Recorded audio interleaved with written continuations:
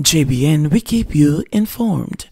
I am Michelle Jones, and in the news, cops scour cult leaders' houses for clues. Please remember to subscribe, like, share, leave us a comment, and click the notification bell to receive our daily news items. Flamboyant alleged cult leader Kevin O. Smith was a picture of humiliation on Thursday as was transported to his Ironshore St. James home in handcuffs by a police team to facilitate a search of two of his properties located in the upscale community. Smith, who is known to travel in large convoys, including limousines, had a fairly large entourage, but not of his choosing. It featured six police cars, including the one in which he traveled, and a fire truck that carried the firefighters who breached his gate and the door to his luxury homes to facilitate the searches. Detectives are still forging for clues into Sunday's alleged ritualistic sacrifice that led to the murders of two persons and the fatal shooting of a third by the police at the Pathways International Church compound in Paradise, Montego Bay.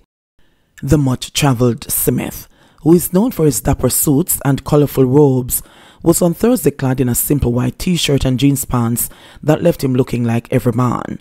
Known for his love of the camera, which he often acknowledged with his broad smile and presidential style waves, Smith was in no mood for the cameras, keeping his gaze firmly fixed on the ground, much like the police dog that was seen strolling around his property on a leash with its handler.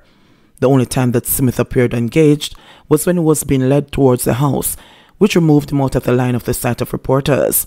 Smith's lawyers were not present as they were on Wednesday when the police went to his other home in Coral Gardens, a development, say sources, that has not gone down well with his legal team.